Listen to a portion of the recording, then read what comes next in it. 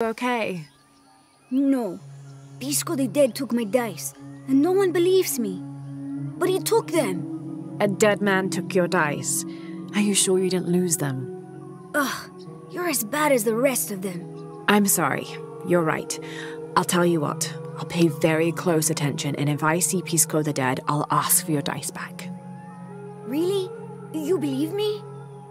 It wouldn't be the first time the dead seem to speak to me.